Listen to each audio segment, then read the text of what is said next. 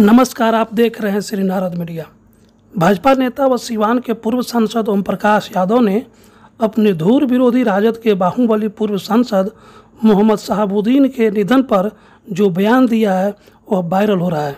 उन्होंने कहा है कि मोहम्मद शहाबुद्दीन 16 वर्ष सिवान के सांसद रहे। उनसे मेरी राजनीतिक प्रतिद्वंदिता थी।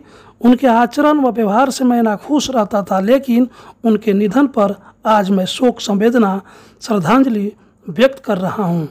साहबदीन हमारे सीमान के पूर्व सांसद 16 वर्षों रहे हैं। उनसे हमारी राजनीतिक प्रतिद्वंदता ज़रूर थी।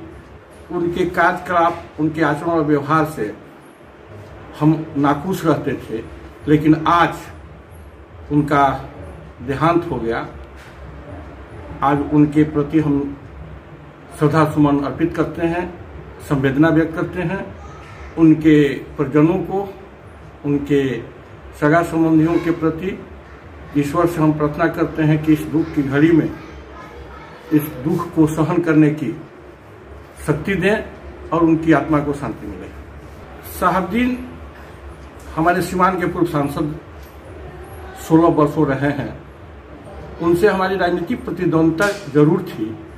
उनके कार्यकलाप, उनके आचरण और व्यवहार से हम नाखुश रहते थे, लेकिन आज उनका देहांत हो गया। आज उनके प्रति हम श्रद्धा सुमन अर्पित करते हैं, संवेदना व्यक्त करते हैं। उनके परिजनों को, उनके सगा संबंधियों के प्रति ईश्वर से हम प्रार्थना करते हैं कि इस दुख की घड़ी में, इस दुख को सहन करने की शक्ति दें और उनकी आत्मा को शांति मिले।